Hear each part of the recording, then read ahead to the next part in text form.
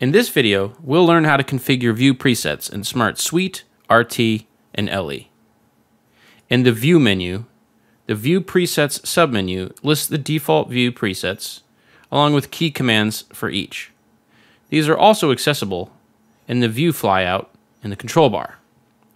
To customize a view preset, simply create the desired view,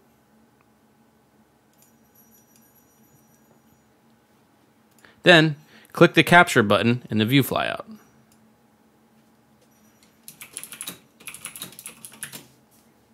Name it and choose a slot.